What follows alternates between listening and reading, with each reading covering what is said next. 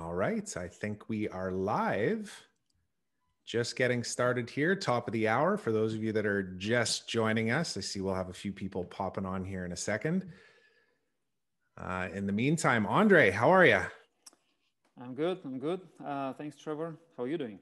Doing great. Doing great. We were doing our testing behind the scenes here to make sure everything was going to work. And of course, you never know until you hit that go live button, but Everything looks to be okay right now. I see a few people popping on here now. So, welcome if you're just joining us. You haven't missed anything. We're just getting rolling here. Um, and I'll address just really quickly as we're getting started. So, first of all, my name's Trevor Turnbull. I'm a uh, marketing and growth advisor with Glorium Technologies. And of course, I've got uh, the CEO of Glorium Technologies with me, Andre Cass uh, Cassianau. Sorry, I was asking Andre. I'm like, how do you say your last name exactly? Doesn't matter. Um, he said, however you decide to say it. So there we go. We got it in.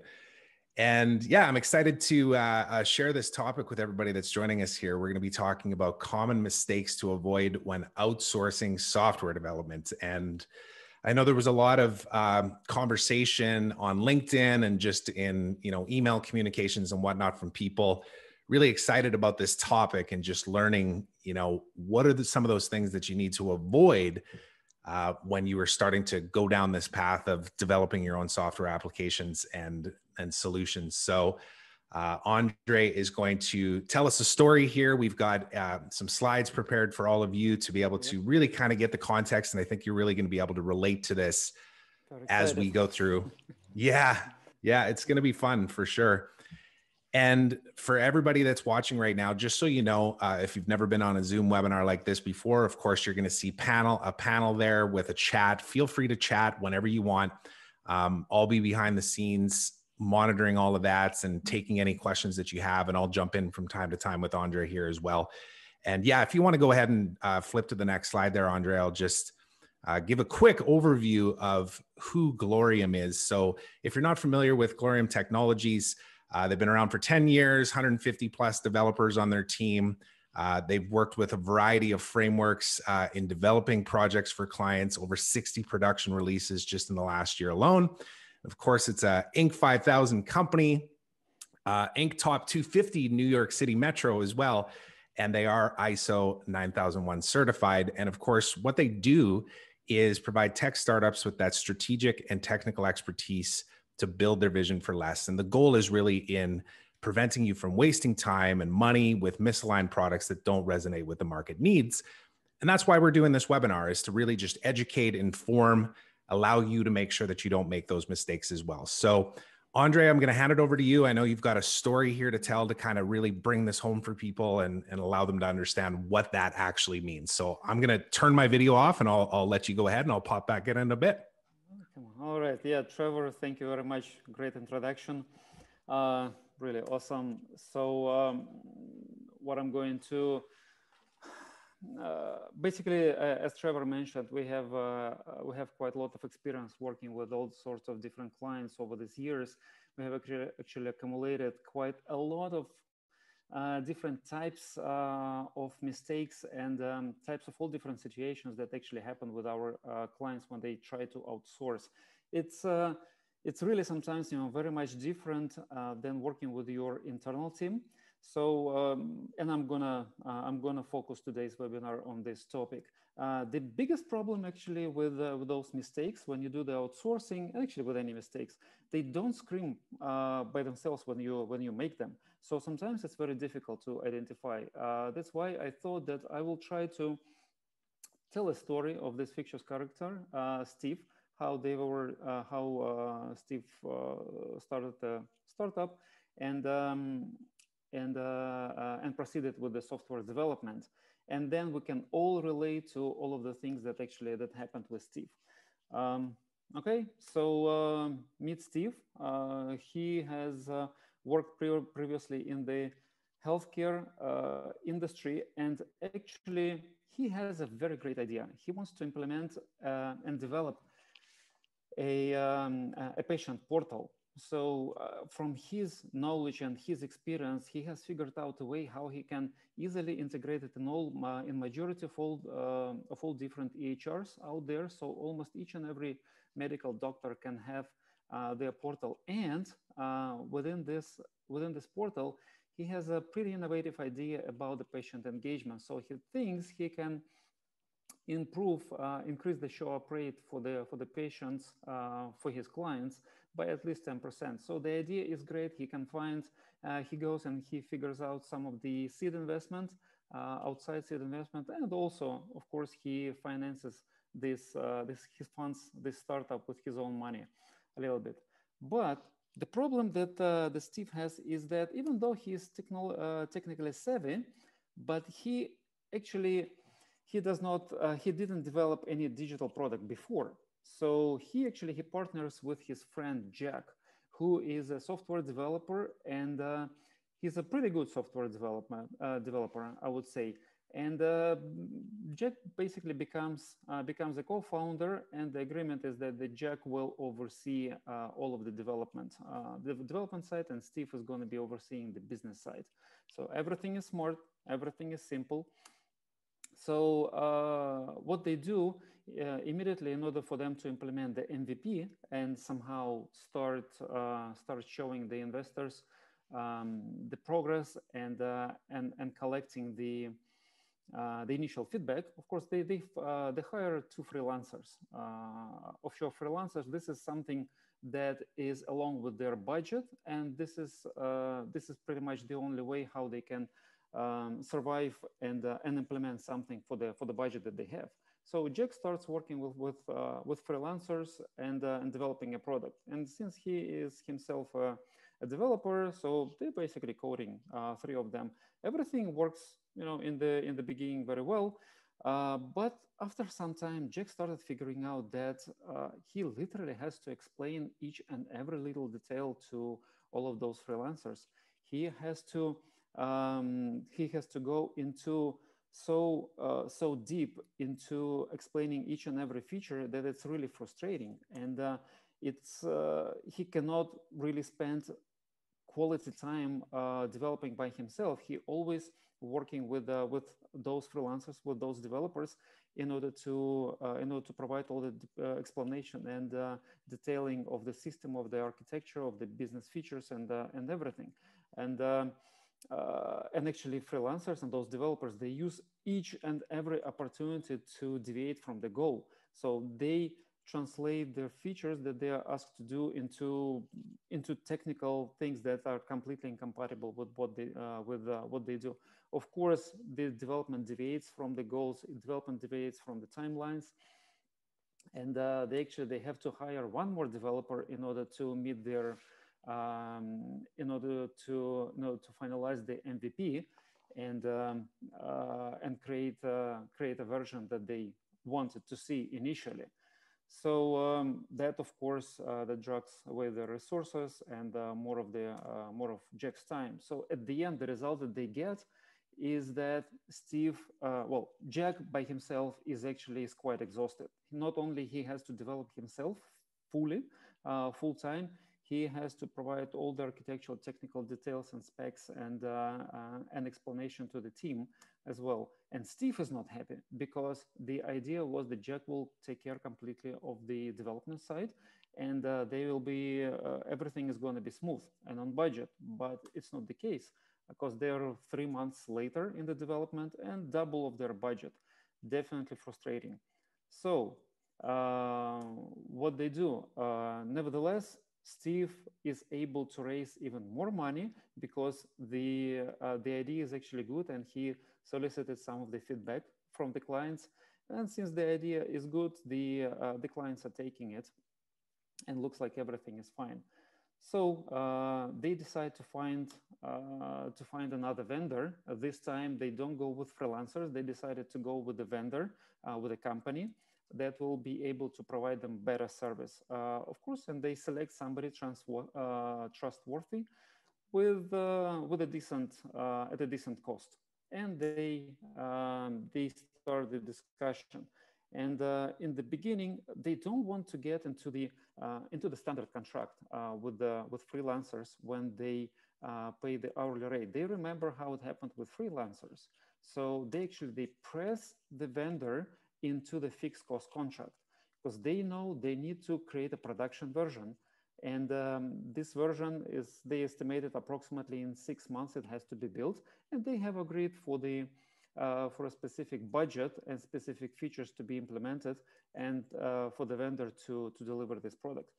Uh, the vendor was against, but they pressed them into and they begin the development. Unfortunately, in about like, um, in about a, month, probably after their development and after um, after they started working uh, with this new vendor, they figured out that actually the fixed scope that they have prepared for the final product is not really um, is not really that fixed. So they have to actually deviate from the scope and they have to create additional features. So not everything is working as smoothly. They have to change some of the functionality. They have to add something new. Uh, there are a lot of different bugs that they figured out. And uh, what happens they started getting into quite heated conversations with their vendor about who implements what, because the scope, initial scope that they were provided, that the vendor was provided uh, with, is now different from what they uh, what they're uh, what they're doing, because they discovered so many new things and uncovered so many unknowns, right? So now there are tons of conversation. The vendor says, "Oh, you know what? Those bugs, I I didn't make them. Your freelancers that uh, that worked before, they made those bugs." And this feature, it wasn't anywhere in our initial, uh, uh, initial contract. And those additions to features, those are additions to the features that your freelancers have implemented. So all of those conversations create a very heated atmosphere and they don't even uh, know how to deal uh, with all of this. But at the end, they somehow um, agree to split the additional cost of fixing some of those small issues uh, on like 50-50 with, a, with the vendor and uh, somehow they create an MVP, right? So the result of this engagement, as they looked at it as, uh, as the time passed, they looked, uh, even after those fixes, they looked at the, uh, at the application. It's nowhere near the completion as they thought it should be. Uh, it's, uh, it's not the halfway through, but the features are not done. there are tons of bugs.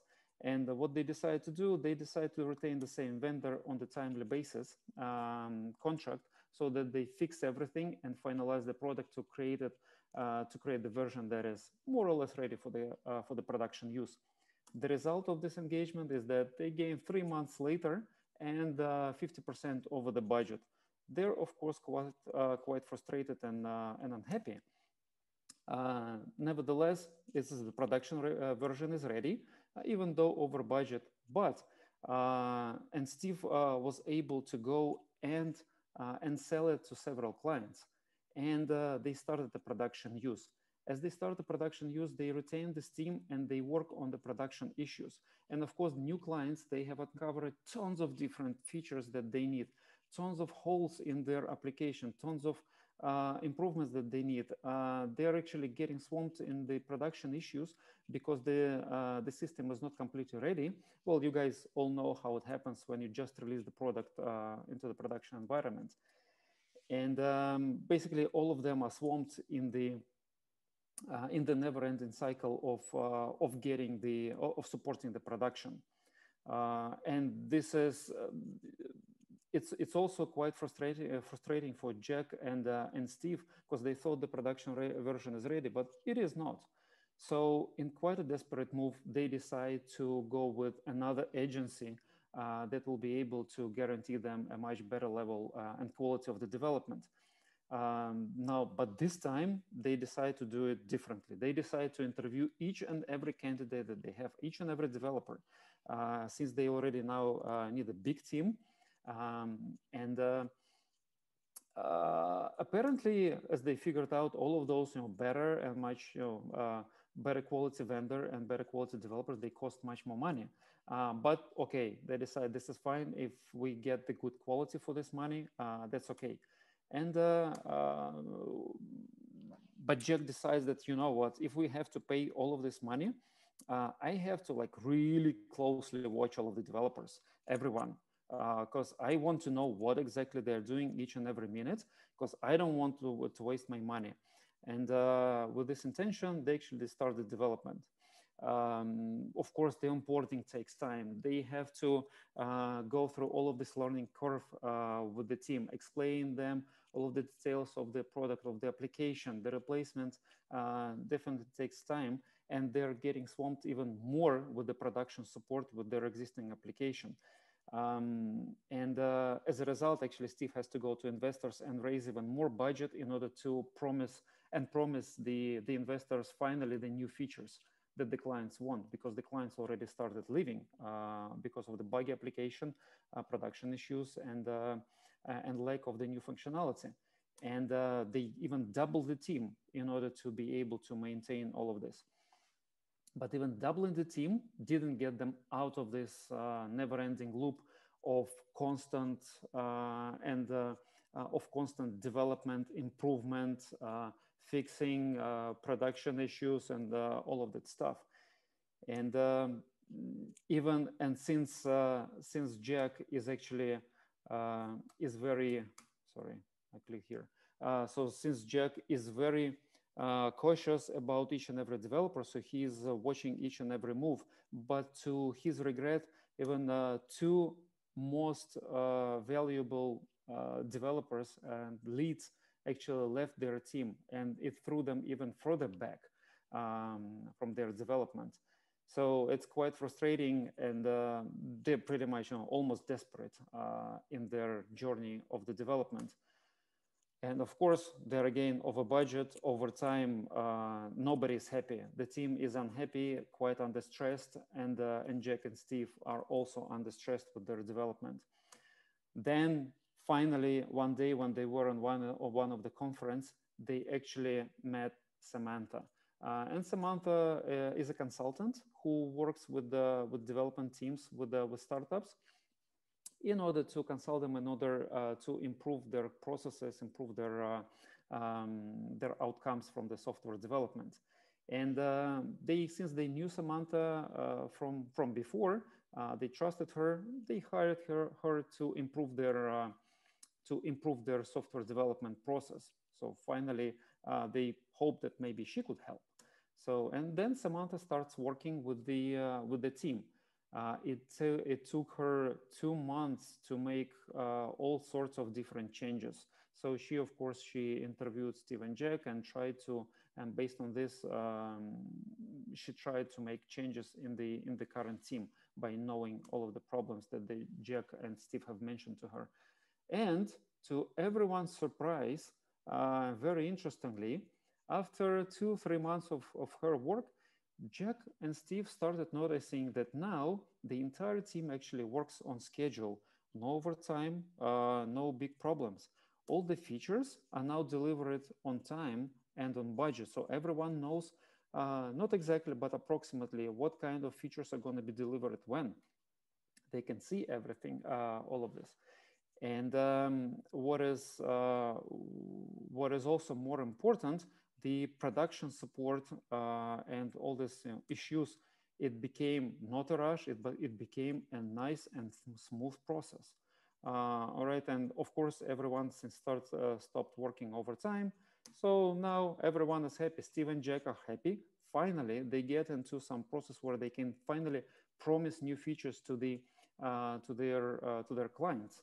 And uh, of course, the entire team is also happy because they're not working overtime and uh, uh, finally on the nice schedule. All right, so uh, happy end, I would say. Pretty interesting, uh, right? So that's actually yes. that's the end of my story. Uh, sorry, it took a little bit of time, but I hope you know some of you have been able to recognize at least parts of some of those of those sections that happened over here. Yeah, and I'll, I'll, jump in there quick, Andre. Um, there's already some chatter going on of people saying, been there before or ran into that problem many, many times. I think it's all too common. And it's obviously uh, a reason why we wanted to start as that with the foundation of, of really explaining the right way to go about doing this. So let's maybe talk about that then. So, what did Samantha do exactly at each one of these phases that really helped shift this in the right direction? Uh, Yeah, it's a good question. So what did she uh, what did she do? Uh, you can see my screen again, right, Trevor? Yep, yep, we're good. Uh, okay. Uh, but in order for me to explain what did she do, uh, first, of course, we need to understand how did she approach uh, this process, and uh, and then, of course, what kind of problems did she solve. So um, Samantha has actually used her five-step development acceleration framework uh, I'm telling actually Samantha used, but actually this is the framework that we use uh, here at Glorium in order to uh, in order to solve all those uh, similar issues with uh, with the clients that are coming to us. And uh, so those five steps include number one, you have to do the analysis of the current development team structure and process. Very important. You cannot just jump in with some uh, with some information or with some, uh, um, some actions or advice. Uh, a good consultant will always dig deep and ask about what is wrong right now and will fully understand the information, uh, the, the situation. Number two, uh, you need to do product mapping. Uh, so you need to understand what is it actually that you're doing from the business perspective and you need to ensure that you have a viable uh, and reasonable roadmap. Number three, having this roadmap, having your uh, uh, having your current state, having your business uh, goals, basically, you need to understand how does it map uh, to the to all the technical aspects. So you need to do the proper design, architecture design, and and estimates, knowing all of those business requirements. And now it is time having all of those things basically in number two and number three, you are showing the goals from the product perspective, from the business perspective, and from the technical perspective. And in number one, you are saying where you are at at this very moment. So number four, basically, is you are designing the path from where you are at right now to where you want to be. So you need to do uh, according to this path, design this path, you need to make all of those adjustments to your process and to the team. And number five, of course, when you're done, once you're done and you are at this destination, you do the continuous improvements and optimization because you are never in an ideal situation, right? So you have to be implementing uh, an improvement loop. So uh, this webinar actually focuses on number one, only. So I will leave everything else alone. Uh, we're only talking about the common mistakes. This is what you will have to understand during the analysis stage of your current development team structure and processes.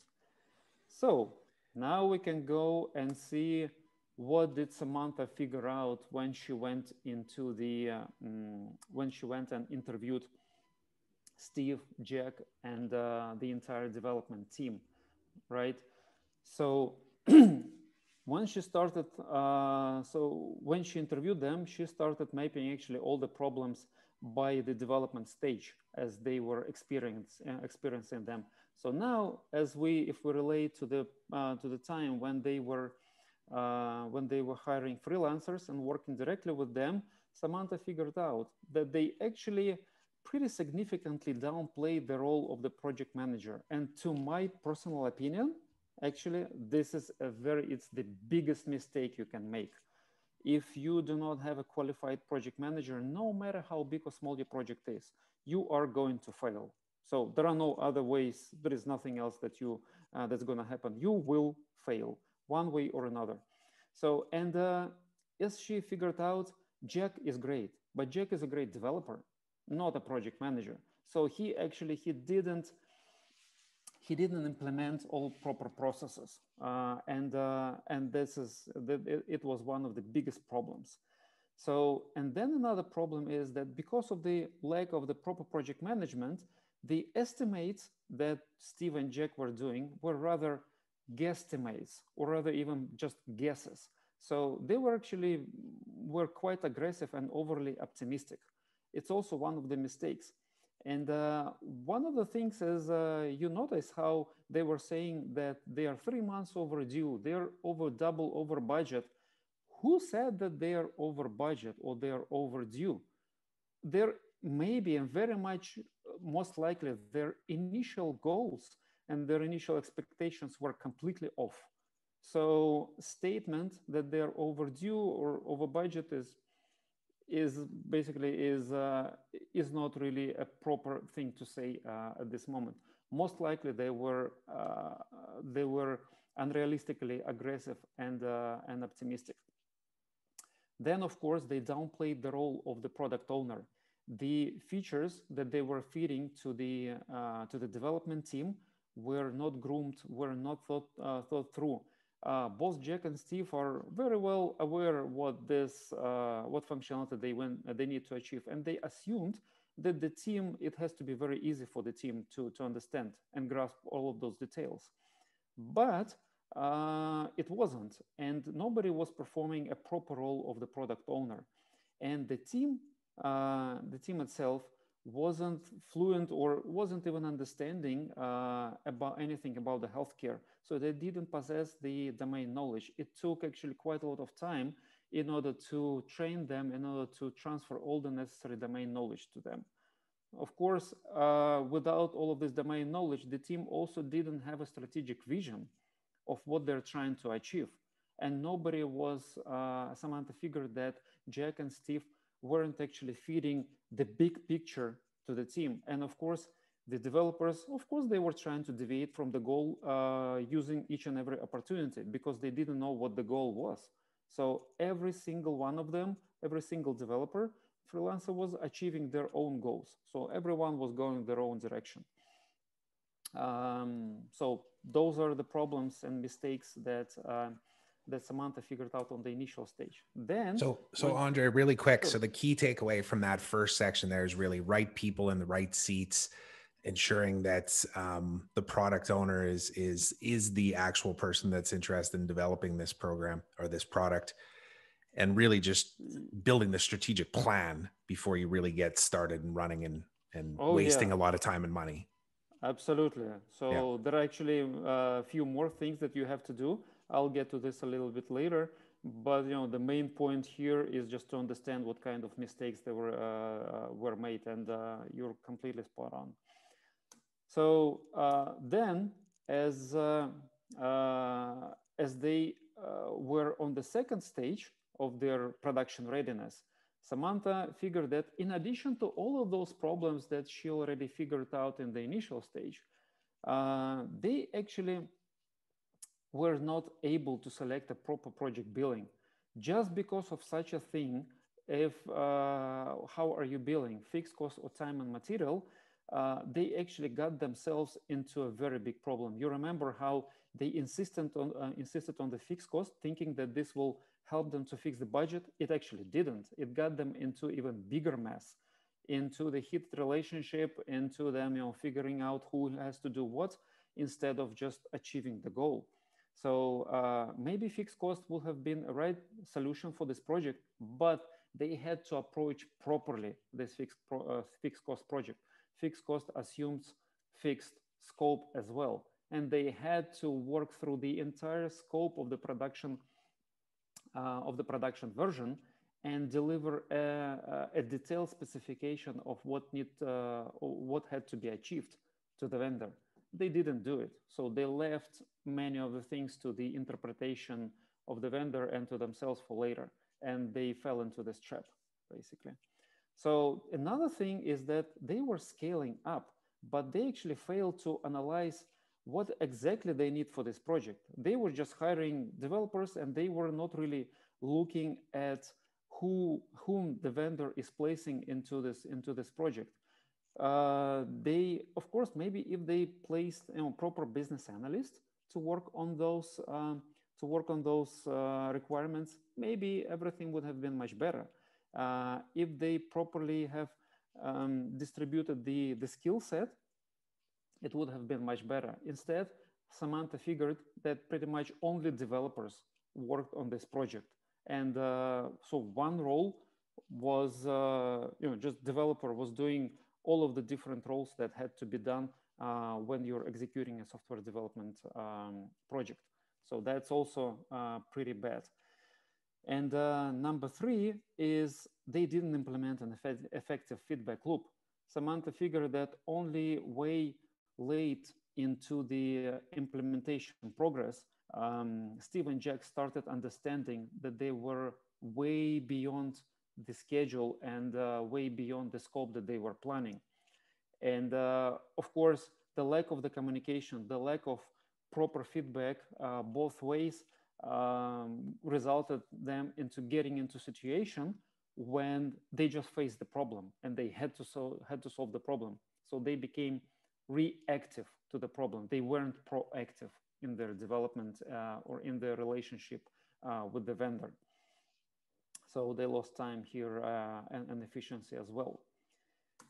And uh, when uh, Samantha get to the third stage, when they started scaling up and uh, got to the you know, large number of, of developers already, um, so in addition to all of those problems that they had before, she figured that once they onboarded this initial, uh, this new vendor uh, from whom Steve and Jack had very high hopes, they started paying much uh, uh, higher rate to them. They had very high hopes, but none of them have communicated to this team, to this vendor, what is going to be the definition of success.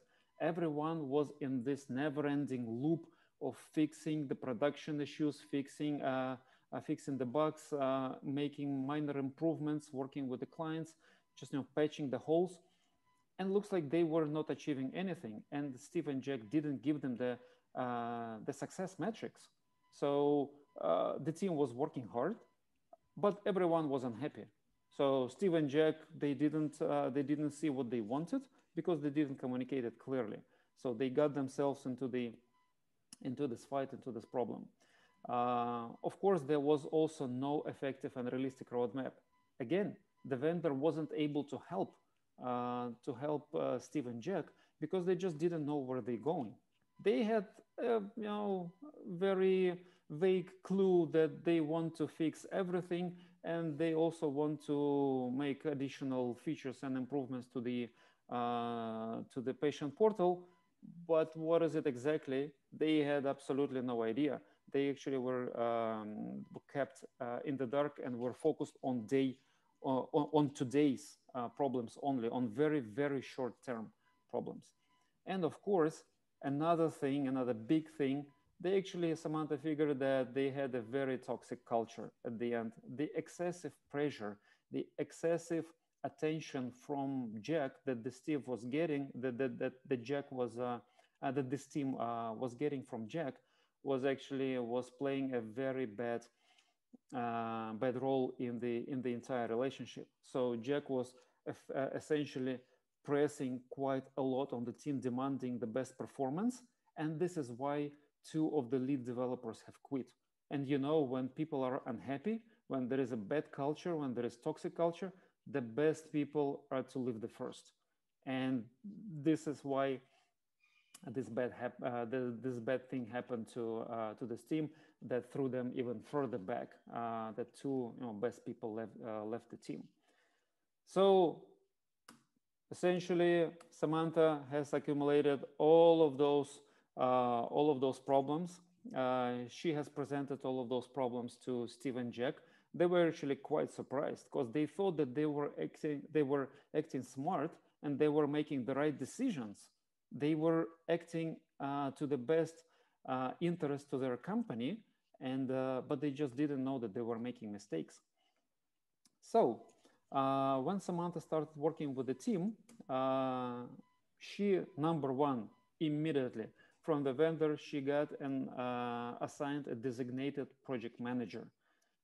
who would take care of the entire management of the team uh, and in order to establish all the proper processes. And of course, she has set up proper agile development process. It wasn't there yet. They were rather more in Kanban. They didn't really uh, deliver on the uh, on schedule. But now, with agile, with all of these proper Scrum procedures, with uh, demos, with uh, deliveries, sprints, uh, everything became much more predictable. They started measuring the velocity of the team. So they started being able to make predictions into the future. So this alone, just the proper agile development process has helped a lot. Of course, she has converted Steve and Jack into the product owners. So they, uh, she told them that their main responsibility is to detail the requirements as much as possible and to explain those requirements to the team, uh, to the little, uh, to the smallest details and be able to answer each and every question from the developer about how the feature has to behave. Uh, so that was uh, a big achievement, uh, big help too. And based on the information that Steve and Jack started preparing and started documenting, she was finally, finally able to create a roadmap and having some of the preliminary estimates from the um, development uh, process, from the agile, from the velocity, they were able to start refining the, uh, the estimate for this roadmap and start putting the dates. So first time in their life, I would say Steve and Jack were able to see the dates attached to the features when they finally will be able to see them in, uh, in production. It sounds simple, but uh, it was, it had a very great effect to the clients and to the investors. uh, of course, of course, uh, Steve and Jack had to familiarize the entire team with the roadmap.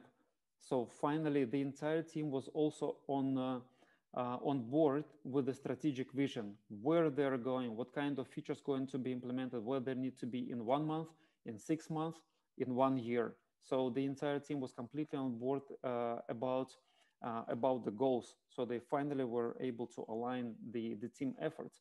And what is more uh, important, Samantha has uh, insisted that Steve and provided very extensive business domain training to the entire team so that finally the team would have a clue uh, about what they finally are doing. And uh, of course, she went into the team and made a sweeping restructuring. So instead of just having the developers uh, in the team and some of the testers, so she went and uh, uh, and rearranged the team. Of course, it meant uh, she worked with the vendor. It meant some of the replacements, some of the additions to the team, but this was uh, very necessary. So she ensured that they had designated uh, designer and architect designated backend and front-end developers, mobile developers, uh, designated, um, of course, the project manager was already there, uh, QA, manual, and, uh, and, uh, and automated uh, DevOps engineers, so that finally they have the entire team, the entire set of roles that, that were able to, to take care uh, of the entire process from the uh, software development process from the very beginning to the very end in a professional way uh, in a professional way. Because of course you guys understand if you put a developer uh, into testing you the only thing you're going to receive is a very shitty testing and if you put a developer into design uh, then you're to receive a you know get a shitty design at a very high cost because developers cost much more uh, than usually than a designer than a tester so for your high budget, you're getting a very, you know, suboptimal result. So here with restructuring, she was actually able to both optimize the performance and the cost of the entire team. And of course, she went, she spoke with, uh, with the entire team and Steve and Jack, and uh, she was able to resolve these uh, issues with the toxic culture, uh, with the lack of trust, and uh, the internal team relationship was actually finally based on the professional respect. And most important she has implemented a timely uh, scheduled and objective uh, information flow back and forth so that the communication uh, would result in the full transparency and as well a feedback loop so now the team was providing a feedback uh, to to steve and jack and steve and jack were providing the full uh, and honest, complete objective feedback to the entire team. So this has helped them to uh, to catch all of the issues beforehand, even before they happen and before they become a problem. And instead of working in a reactive mode, started finally working in a proactive mode. So making the changes and improvements before uh, they create a you know a substantial problem. So voila, this is what uh, this is what Samantha did. Uh, yeah, there's a lot of takeaways from that, Andre. Obviously, some of the key pieces, if I could just summarize too, is obviously being able to step back and properly plan, put systems in place. Obviously, you're talking a lot about people and the importance of communication and having the right people in the right seats. Um, all of this stuff mm-hmm. obviously mm-hmm. ties into that five step development acceleration process that that you guys use as a part of your initial discovery phase and talking with people that have a vision for a product. Um, do you want to maybe speak to that just a little bit, as well as maybe some uh, case study examples of how you guys have, have, worked with different clients in different industries? Okay, um, let me actually. You see the yep. screen, right? Good. Okay. So uh, yeah, uh, it just yeah, as you as you mentioned, we have uh, already accumulated quite a lot of experience. Here, so here are some of the clients that we worked with, um, and uh, to whom we have uh, we have helped. And uh, interestingly, just you know, very couple, just a couple of minutes, I will I will relate to some of the examples, but to, to be honest, I didn't fully make up this process, uh, uh, this, sorry, this, this story about Steve and Jack. This actually, the story about Steve and Jack, it's actually, uh, you know, it's a glued number of stories that we have encountered throughout our experience. So it's not completely made up. It's, it's made up as a whole, but pieces are very, very much real. So uh, as, um, as examples, for example, we had actually one of the, uh, some time ago, uh, a real estate tech startup. Uh, before, uh, before we met them, they actually, they changed three different vendors, just like Steve and Jack. This is the reality. And those vendors included both onshore and offshore vendor. In the very, in the very initial seed stage, what they were, they spent $50,000 where you know for the seed stage is uh, is quite enough. Uh, so it you know it may not be big money uh, for um, for Series A company. It, it's actually it's tiny, but for the seed stage, it's it's a significant amount. And the results that they received, the entire code it had to be completely dumped. And they what is more important, they wasted six months of time. Uh, this is even worse than losing $50,000. So we took over this project and we did a thorough analysis. Uh, we have deployed a proper team uh, to this project. And uh, this actually, this, uh, this product, it had to handle very complex algorithms. So we had to actually be very cautious about who we do, who do we put into this project, what kind of skill set go into the project and how do we organize the development. Because for complex calculations, you have to be very careful and you have to um, not only you have to put the proper people but also organize a very uh, very proper process. And uh, we did this we did the proper structure and process uh, establishment uh, of those things. Um, interestingly so uh, and everything worked well so they retained us uh, on the long term as a as a, their long term vendor and actually Four years afterwards, they were acquired by a larger competitor. Um, so company is very successful. And two years later, they were acquired by even a larger, a huge actually public company. So the exits, you know, but even two times they made exits. Uh, everything was uh, uh, everything was great, and we're still working with them. And um, it just allowed us this kind of quality work and proper approach allowed us to approach uh, to to be kept you know to survive actually two acquisitions. Very interestingly. Uh, another another case is actually as a health tech uh, startup. There was also uh, interesting case here even more interesting. They had an onshore vendor to develop an mvp and they i would say almost developed an mvp uh, they didn't tell us exactly, but we guessed that they spent around half a million dollars on developing this MVP, and they got stuck on a 90% completion mark. Uh, this also, this is a thing that sometimes that we're looking at this as an indication of a very serious problem, and uh, it should be uh, should be familiar for many of the people uh, who do the software development, uh, including those that are uh, uh, on this call. This is where you kind of, this last millimeter, it's the most difficult one. And they got stuck at this 90% completion. They weren't able to move anywhere. The features are almost there, but as they fix one thing, something else breaks.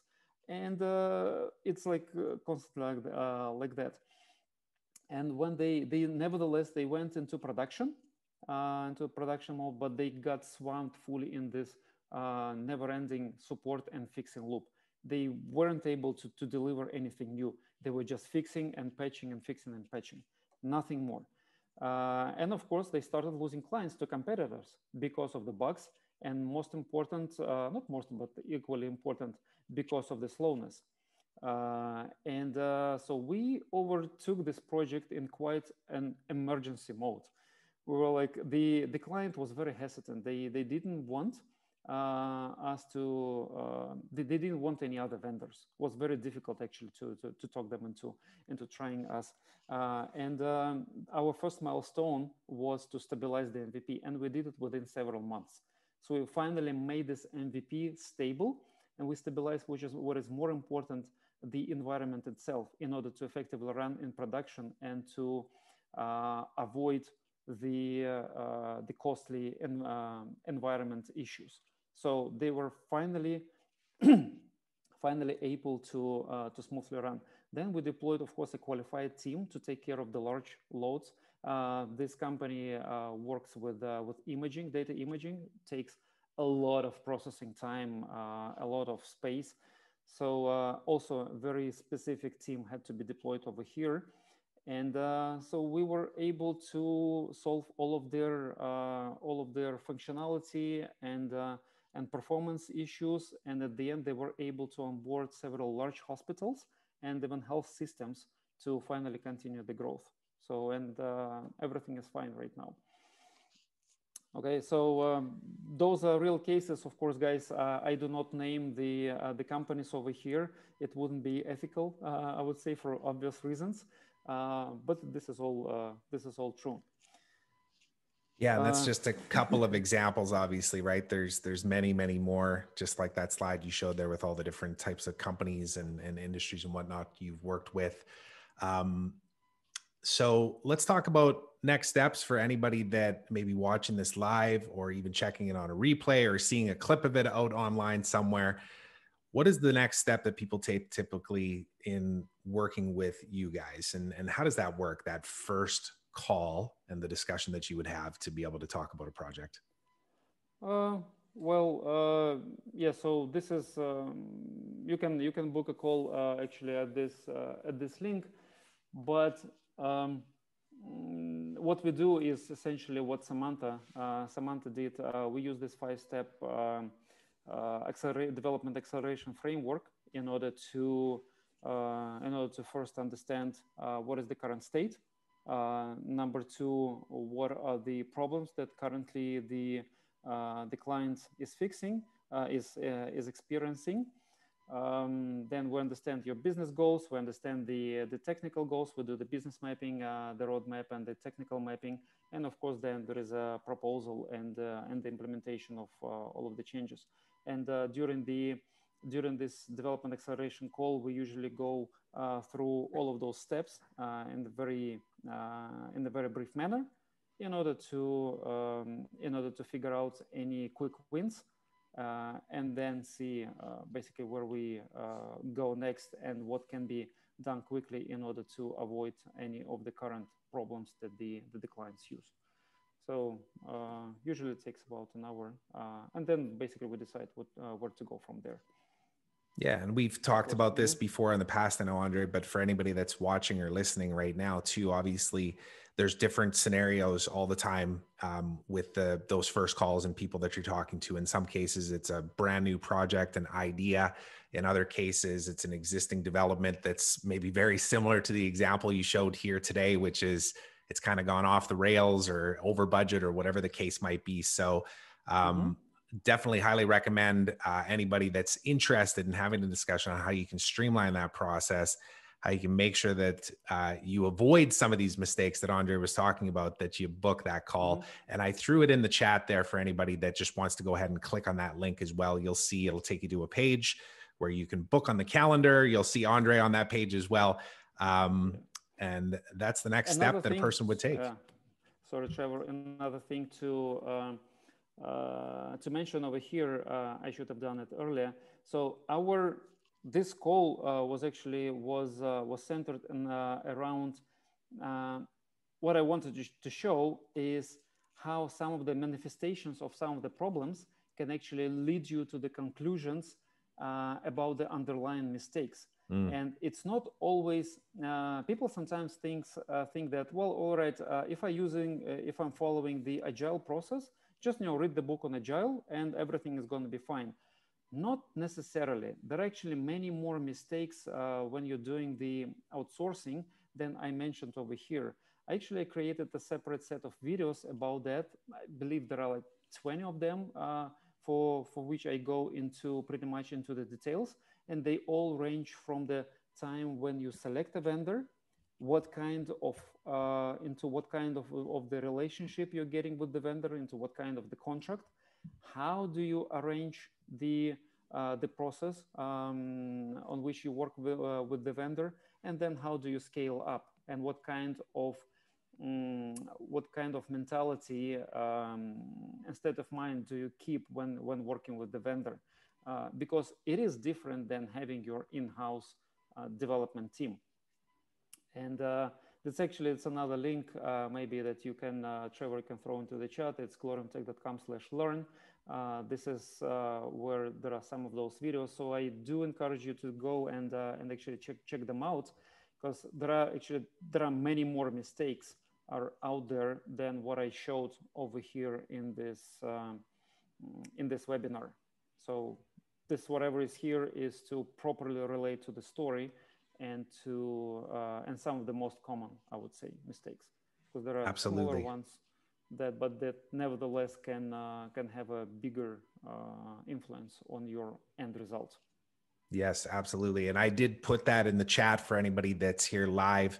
Um, but again the link is gloriumtech.com slash learn. That's the one where mm-hmm. there's those additional videos there and I'd encourage anybody, no matter what kind of phase you're at in your development process, whether you have extensive experience in this space and you're just looking to be able to throw some ideas off of uh, you know another person that can really offer a different perspective too i think a lot of times that's one of the the pieces of potential failures that we get too close to the project i know your your mm-hmm. example that you showed here today with jack is that wasn't necessarily that he didn't have the skills it's just maybe he was a little too close too many things on his plate trying to wear too many hats and ultimately things went sideways so yes, anything you want to exactly. finish with yeah uh, well, I can, uh, to finish with, I, uh, I, I, should also add that uh, you shouldn't take those, um, all of those mistakes as they will definitely happen to you if you don't do this or this exactly how it's going to be. Uh, not necessarily. Some of the teams may not experience certain mistakes, even or certain results, even if they make a mistake.